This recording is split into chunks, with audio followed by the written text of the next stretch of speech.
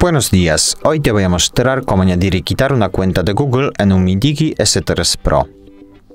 Para eso hay que abrir la aplicación Ajustes. Ahora más abajo hay que abrir la pestaña Cuentas.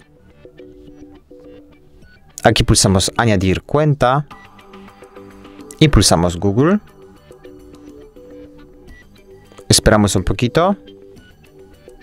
Y aquí iniciamos sesión Introducimos nuestro correo electrónico.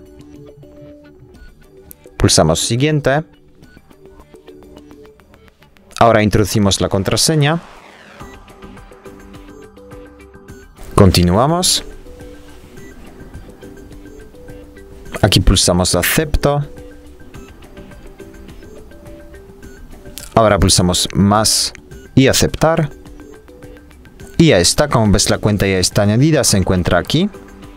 Para eliminarla del dispositivo hay que simplemente pulsar el correo, pulsar quitar cuenta, confirmar aquí y ya está. Como ves la cuenta ya está eliminada.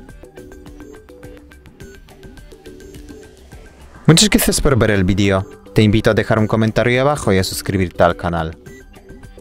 Hasta luego.